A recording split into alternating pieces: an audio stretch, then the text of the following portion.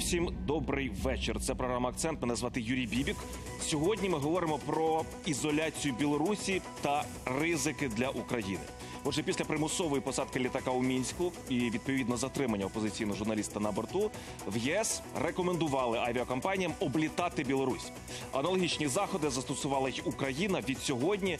Також під забороною імпорт електроенергії з Білорусі. І от про перспективи та ризики відповідно для України сьогодні докладно та предметно ми говоримо з нашими гостями. Олександра Рішміділова, політолог. Добрий вечір, пані Олександре. Олег Пензен, член економічного дискусійного клубу. Вітання вам. Добрий вечір. Добрий вечір. Отже, дивіться. Е- Насправді дуже багато аспектів до обговорення. Мова піде про економіку, про соціальний напрямок, про медицину, тому що тут також дуже багато проблем. Про політичні наслідки також. Можливо, це все звучить дуже так знаєте нудно зараз в такій пізній годині. Але я обіцяю, що буде дуже цікаво, тому що насправді перспективи і ризики для країни можуть бути ну е, нечувані. Почнемо з електроенергії. Від сьогодні НКРЕКП припиняє е, ну своїм рішенням ухвалює рішення, і ми припиняємо, я так розумію, імпортувати електроенергію з е, Білорусі. Це по запиту від міністерства і, зокрема, пана Германа Галущенка. В нацкомісії не виключає, що цю заборону після жовтня або до 1 жовтня вона діятиме, можуть зняти. Тепер давайте послухаємо пряму мову і повернемось до обговорення. Теоретично припинення імпорту як ринкового механізму може призводити до зловживань і маніпуляцій на ринку. А з технічної точки зору разом з Укренерго та Міненергетики ми дійшли думки, що маємо спільно моніторити стан підготовки до осінньо-зимового періоду, стан накопичення вугілля. Як бачимо на прикладі цієї зими, імпорт був необхідний. Валерій Тарасюк, голова національної комісії, що здійснює державне регулювання у сферах енергетики та комунальних послуг. Отже, е, пане Олеже, давайте до вас звернемось спочатку. Е, Перед початком е, моєї підготовки до ефіру я знайшов інформацію, що ми зараз вживаємо там близько 1,3% е, від загального обсягу електроенергії, яка надходить до нас з Білорусі. Скажіть, будь ласка, при таких цифрах, якщо вони дійсно відповідають реальності, а наскільки критичним є ось така заборона? Чи це пов'язано з сезонним фактором, коли фактично зима вже завершилась, і у нас є можливість припинити електроенергію? Ну, дивіться, ми ж маємо розуміти, що все робиться в балансі, і коли ми з вами говоримо про е, електричну енергію, яку ми купляємо десь у наших сусідів, то в першу чергу стає питання, скільки вона коштує. Е, коли ми з вами говоримо про електричну енергію, яку е, ми купляли або в Російській Федерації, або в Білорусі, вона нам значно дешевша, ніж та, що продається на внутрішньому ринку України, і відповідно е, цей демпінг призводив до того, що зупинялися українські енергетичні потужності, і до деякої міри там страждали наша генерація. Імпортувати з Білорусі електроенергію дешевше, Безперечно, аніж вона ніж виробляти на внутрішньому ринку. це дуже дивно. Ні, це не є дивно, тому що в Російській Федерації і в Білорусі електрична енергія дешевша. Там є об'єктивні речі, які пов'язані із е, особливостю виробництва електричної енергії і з вартістю, е, скажімо так. Е, Тих енергоносіїв, з яких власне які е, в тому числі і е, сприяють виробництву цієї електричної енергії. Тобто, е, в будь-якому випадку, поки що е, до е, першого, власне, ви правильно сказали, я Жовтня? хотів до 1 жовтня є заборона. А далі, власне, чому 1 жовтня, початок опалювального сезону, Ну, звичайно. та, і там цілком можливо ситуація буде мінятися. Два слова зараз на платіжки таке рішення не вплине. Ну, дивіться, на платіжку впливає не тільки вартість електричної енергії, але й загальний обсяг її споживання. На сьогоднішній момент поки що в платіжці лишається гривна 67, тобто для населення жодним чином це не вплине. Е, Це набагато нижче, ніж сьогодні реально ця електрична енергія вартує, тому що в цій цифрі сидить і транспортування, і виробництво. Окей. Так що поки що тут немає якихось проблем. Зрозуміло абсолютно. Пані Олександр, скажіть, будь ласка, а, таке рішення співпало з політичною обстановкою між країнами? Чи це було, ну як як сказав е, пан Олег, е, ну продумане абсолютно рішення? Так, тому що зараз фактично ми не потребуємо електроенергії з Білорусі. Можна по-різному знайти аргументацію, як і на те, що це рішення готувалося, умовно до нього йшло, тому що багато було розмов е, якраз про закупівлю із Російською Федерацією, з Білорусі, це дискусійні. Питання, але я повністю впевнена, що спонукали останні е, політичні події до того, щоб пришвидшити це рішення. Питання в іншому, що воно може бути не поодиноким, тобто може не обмежитись лише е, забороною авіасполучень і е, електроенергією. На черзі можуть бути нафтопереробні продукти, бітум, особливо це важливо для влади на тлі великого будівництва. Звичайно. А, можуть бути взагалі загострення відносин, починаючи від е, дипломатичного загострення і закінчуючи серйозними економічними війнами. Особливо в нас вже є, е, скажімо, певне таке щеплення е, негативного такого досвіду про війни е, м'ясні, там сирні, Сирні, війни, так з Російською Федерацією, я не знаю, там цукрові війни, різні можуть бути. Тобто питання в тому, що Білорусі для України шостий за розміром партнер по товарообігу. І тому питання, а чи ми будемо заміщати? І дуже цікавий аспект е, покажу. Наприклад, після того, як Кабмін достатньо швидко, я б не сказала, блискавично швидко е, зреагував про припинення сполучення, була заява від аеропорту е, Київ, який ми добре знаємо як Жуляни, що е, вони несуть втрати і просять підтримують рішення Кабміну, але просять про компенсаторні механізми, бо вони втрачають 10% свого прибутку. Я не виключаю, що це тільки умовно перша ластівка. Симетричні заяви можуть зробити і Бориспіль, і інші, е, наприклад, авіакомпанії. А, Кажуть, що МАУ схоже заяви готує, і можуть бути такі інші якісь великі бізнеси потужності, які орієнтовані на Білорусь, можуть заявити або попросити про компенсації в уряду. Чи є в них відповідь? Не впевнена. Зрозуміло. Скажіть, будь ласка, пане Олеже, коли ми говоримо, наприклад, про те, що аеропорт Київ Жуляни втрачатиме 10%, як вони самі стверджують, від такого рішення уряду щодо заборони, так?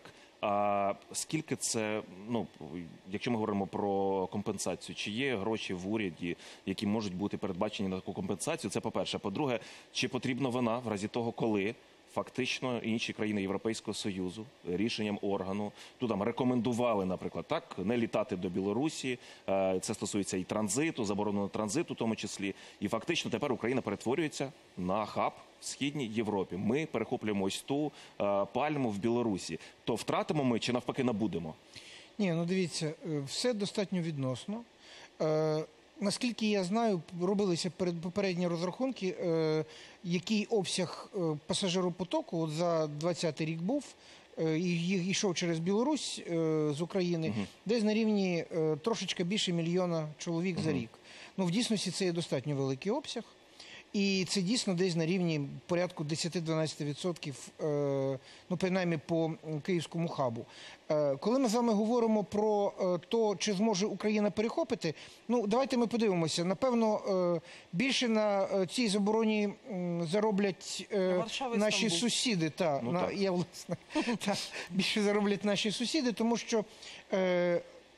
Основні магістральні, е, скажімо, коридори в першу чергу на Прибалтику і на е, північ Європи, власне, будуть чіпляти їх. Е, Україна тут навряд чи настільки серйозно виграє. Хоча ще раз повторюю, це є абсолютно політичне рішення, і тут Україна йде повністю в руслі тих заяв, які робляться в Євросоюзі. Пані Олександра сказала, що за товарообігом шоста країна, так здається, Білорусь. І тут питання в тому, що е, от при підготовці до ефіру знайшов цифри. У нас зараз від'ємне сальдо там близько від'ємне сальдо близько півтора мільярди доларів. 1,4. Тобто, ну фактично, ви виправляєте мене, якщо я помиляюсь, що ми купуємо більше, аніж продаємо до Білорусі. Правильно я розумію? Так. А, і от пані Олександра абсолютно е, правильно заакцентувала увагу на тому, що ми потребуємо, що ми найбільше куплю- купуємо. А, мова йде про якраз е, паливо, про Ну, дивіться, мазут і так далі. дивіться, тому дивіться. Наскільки критично ми залежні від цього? Дивіться, щоб ми з вами зрозуміли, за що йдеться мова, і чому настільки е, дійсно це є питання важливим. Е, Десь приблизно 75% е, ринку дизельного пального в Україні це є Росія і Білорусь. Е, Два нафтопереробні білоруські заводи забезпечують. е, Ну, коли ми дивимося структуру е, імпорту з Білорусі, 60% імпорту це нафтопродукти. Ми розуміємо це. Так. Тим більше, в чому є нюанс? Нюанс полягає в тому, що е, це дизельне пальне, особливо там, е, скажімо, по певних обсягах, воно е, з не дуже високим рівнем, е, скажімо, ну. там не євро 5, не євро 6, воно трошки менше.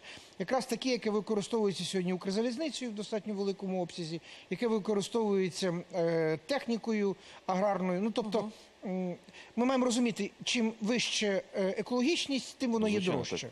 Е, Білоруси і росіяни, власне, після припинення, е, скажімо, постачання по Новоград-Волинському продуктопроводу, е, після того, як білоруські заводи пішли на реконструкцію, а вони реально пішли, ми сьогодні отримали ситуацію е, можливого створення дефіциту дизельного пального, яке миттєво було вирішено тим, що представником Роснефті в Україні стала е, компанія Сокар, Да. через яку пішли власне оті всі потоки. Тобто дефіциту не буде, росіяни ринок не втратили, але просто треба розуміти, е, 65-70% ринку пального Да. це надзвичайно багато. І з цієї точки зору просто треба нагадати: в Україні 5 нафтопереробних заводів, з яких працює половинка. Половина е, Кремінчуцького Да, зрозуміло, нафтопереробного. абсолютно. Пані Олександра, а скажіть, будь ласка, е, якось на ціни це вплине? Тому що була історія з фіксованими цінами уряду, так на е, пальне в АЗС. Е, Не тривало. Тепер а, да, погоджуюсь, але от така перспектива, тому що була лише нота від білоруської сторони, коли ми припинили авіасполучення. Чи може аж так далеко все зайти, згадуючи ті війни, про які ви згадуєте? Може бути ось ця бензинова, паливна війна і так далі? Два моменти. А, Білорусь займається нафтопереробкою. Тобто, насправді постачає туди безпосередньо саму сировину Російська Федерація. Федерація, Треба розуміти, що якраз після травневих перемовин, зустрічей між е, Лукашенко і Путіним є певні тенденції до зниження обсягів поставок в Білорусь з боку Російської Федерації. Не домовились так, як планувалося. А це означає, що у Білорусі є власні потреби, особливо з огляду на е, їх потенціал аграрної держави, тобто ті потреби, які в них є для агроринку, для так само залізниці тощо. Тобто тут питання в тому, щоб ми могли б стикнутися з цим дефіцитом трішки пізніше, просто ми його ще не помітили. Чи може на цьому грати Російська Федерація? Однозначно може. Чи може вона додатково підбурювати е, цей дефіцит внутрішньоукраїнський, щоб створювати тут е, дестабілізаційні Звичайно. фактори? Може. А з іншої сторони можуть з'являтися альтернативні потоки, які умовно споживач не надто помітить, але на тому хтось додатково заробить свої приємні копійчину. Так треба ще розуміти, що безпосередньо з Білорусією цікавий момент. Ми раніше достатньо часто могли відслідкувати наскільки динамічно розвиваються наші економіки у взаємозв'язку. Наприклад, раз на рік проводилися два роки тому. Це був Житомир. Минулого року це мав бути Гродно, але у зв'язку з політичними подіями не відбулися ці виставки, і ми не можемо зараз до кінця розуміти, яка динаміка від'ємна, позитивна, що буде. Але те, що політичні фактори починають достатньо сильно бити по нашій економіці, і ще я недаремно наголосила, що наш уряд настільки швидко прийняв рішення по припиненню авіасполучення, що не прорахував ризики, на моє переконання. Тобто, коли ми будемо заглиблюватися в економіку, ми будемо розуміти, що ми втрачаємо те, що не прорахували. Тобто, ціна політичного рішення буде відбиватися на економіці. А, окрім економіки, але зараз давайте ми повернемось так про ризики, про найбільші про життєві ризики. Я трішки е, пізніше згадаю. Пане Олеже, в двох словах скажіть.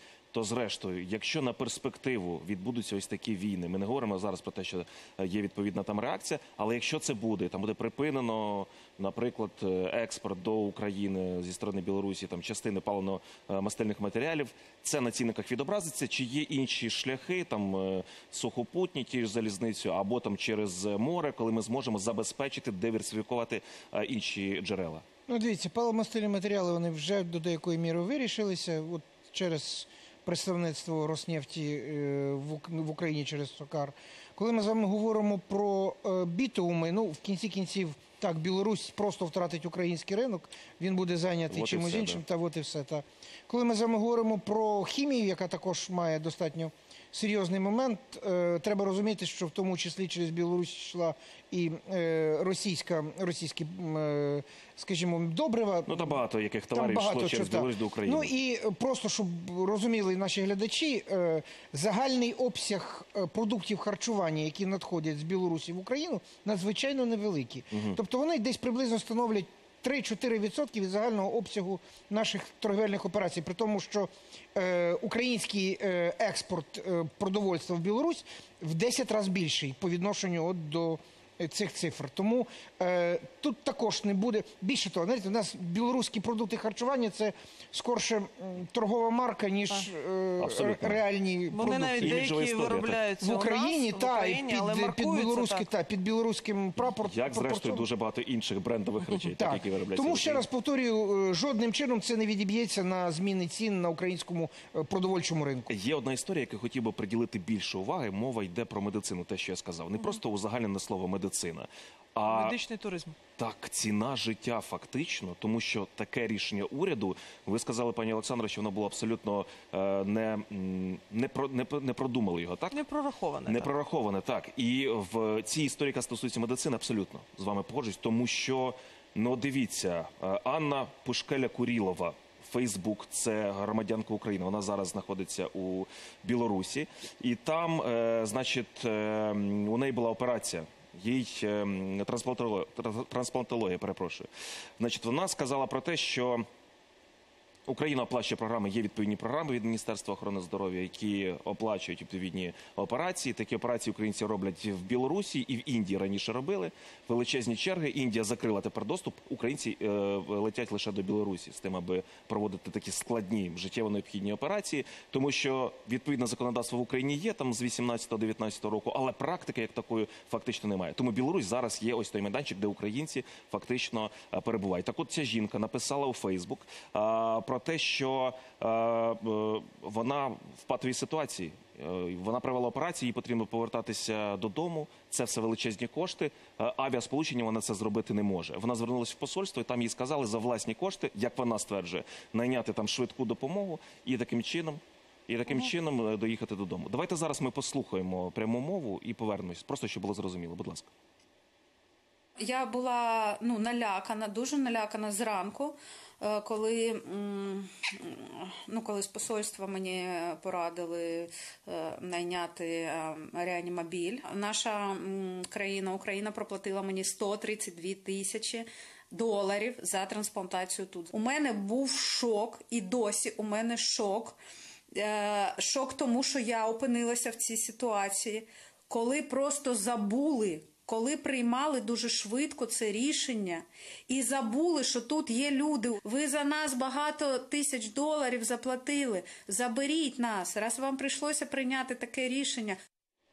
Пані Олександра, вона не одна така жінка. Так, громадяни України, яким потрібна життєво важлива необхідна операція в Білорусі, закрите авіасполучення фізично автобусом, автівкою там і так далі. Добратися дуже важко. Інші сполучення, авіасполучення шукати це дуже величезні гроші. Чому таке непродумане рішення? Чому немає спецдозволів якихось для таких людей? Давайте розуміти, що е, в мене особисто є певний ефект дежавю, особливо коли ми бачили, е, входили в певні карантинні обмеження, ковідні реалії, коли Україна збирала е, своїх громадян звідусіль, як е, умовно логістично прокладалися варіанти повернення наших громадян.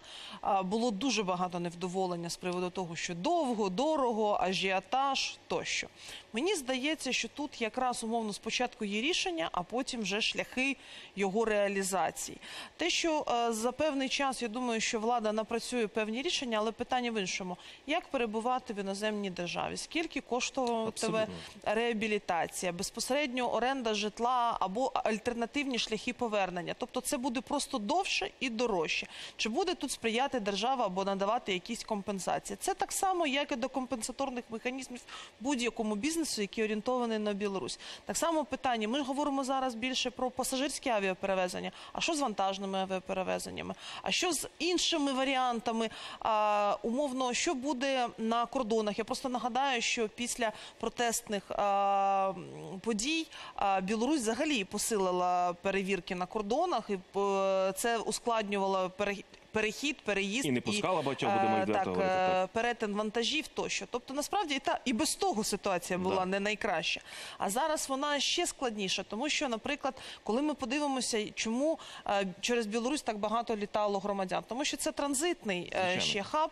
Ну, наприклад, зараз, щоб дістатися умовно, якщо вам потрібно, наприклад, в Санкт-Петербург. Я не знаю. Вам потрібно зараз дві пересадки. Можливо, це буде Берлін, Копенгаген, ще якось летіти. Або так само або Варшава. Так само і з Мінськом. Питання в іншому. А як зареагують повністю всі сусіди, тому що ми бачимо зараз певний ефект доміно в європейських Да. країнах, які послідку е, взяли наш приклад. Але ми розуміємо, що це не повна ізоляція ще. Тому якісь альтернативні шляхи точно Да, будуть. Зрозуміло. Давайте конкретно до історії людей повернемось, тому що ну мені здається, от ми редакції сьогодні розмірковували. Це дуже важлива історія. Вона набула відповідного резонансу. І окрім цієї жінки, те, що публічно вже е, ми маємо, є ще одна історія е, від. е, Аліни Панченко, громадянка України, вона зараз перебуває з чоловіком в Білорусі.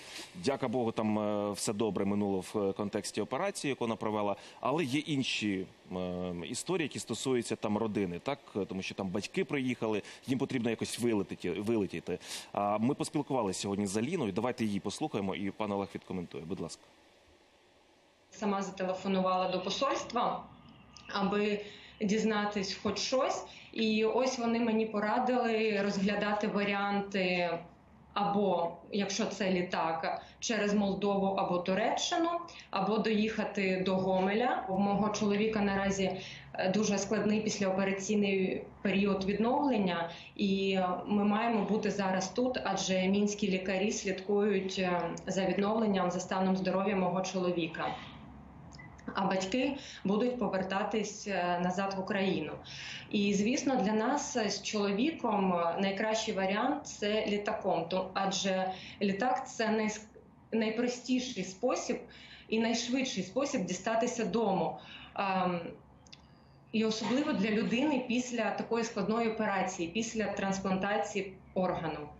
А батьки так вони розглядають варіант автобусом, ну тому що це, скажімо, найдешевший варіант.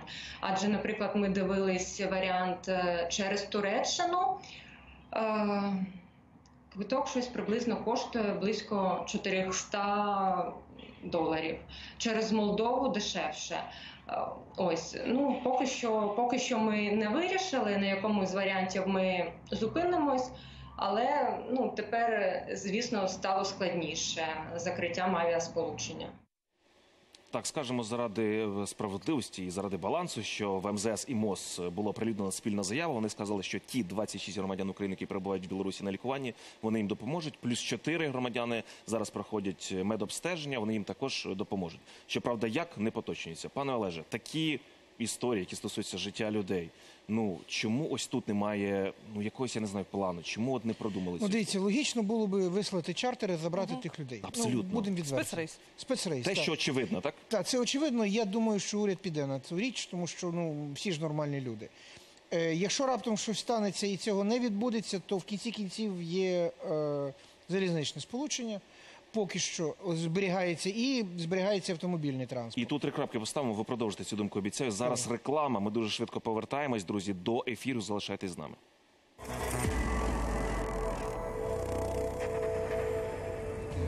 Друзі, всім ще раз добрий вечір. Програма Акцент, телеканал НТН. Мене звати Юрій Бібік.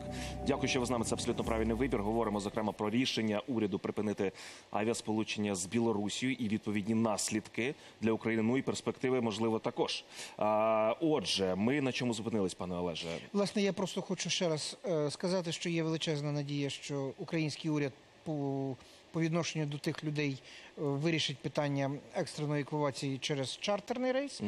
Е, тому що в дійсності е, будь-які інші способи транспортування, навіть авіаційні, там через, як було вже сказано, через там, скажімо, Турцію чи через інші країни, він однозначно буде набагато довший дорожчі, і дорожчий. і дор- так. дорожчі. Але скажіть, будь ласка, буде спекуляція, коли там фактично залізниця підніме ціни, автобус підніме ціни і так далі, тому подібне. Ви знаєте, я би сказав, що тут буде навіть мова не про спекуляцію. Я думаю, навряд чи зараз буде карколомне щось підняття. Там просто е, значно ускладнений буде перехід кордону, е, власне, безпосередньо з Україною е, на автомобільному переході. І я думаю, що там просто вишукуються величезні чари, тому що достатньо великий пасажиропотік, я ж казав, більше мільйона людей. Ті люди однозначно будуть е, і далі їздити в Україну, і це безперечно потягне за собою збільшене навантаження на інші види транспорту, що призведе до ускладнень безпосередньо при переході кордону, от власне наземному транспорту. Зрозуміло. Пані Олександро, скажіть, будь ласка, ось ця ізоляція або ізоляція Білорусі це е, ну, ризик для України в тому числі, чи це перспектива для України? Я б не розраховувала, що зараз Україна там перехопить якимось чином і стане а, там, я не знаю, авіаційним хабом, з чого ви починали. Давайте подивимося, що взагалі відбувається. Повістка дня така, що Білорусь і ці події вони стали а, топовими новинами не тільки європейських, але й світових видань. А, особливо це цікаво з огляду на заяви, які роблять світові лідери. Ну, в першу чергу подивимося на Сполучені Штати, які не тільки засудили ситуацію безпосередньо з журналістами і телеграм-каналами, а загалом ще й сказали, що там біля 100 е, політв'язнів, так і список е, готується. Тобто, це може бути предметом перемовин під час саміту в Женеві між Байденом і Путіним. А це означає, що якщо питання Білорусі буде першочерговим, то питання України просто буде через кому пізніше. Для нас це не так вигідно. Е, Дякуємо дуже за стислу, ємку, але предметну і цікаву розмову. Дякую, що завітали сьогодні до нас. Олександр Ічмеділов, політолог. Дякую, пане Олександре. Олег Пензин, член економічного дискусійного клубу. Дякую вам дуже. Дякую всім глядачам, які весь цей час разом з нами з програмою Акцент. Побачимось вже завтра. Всім гарної ночі. Дякую за увагу.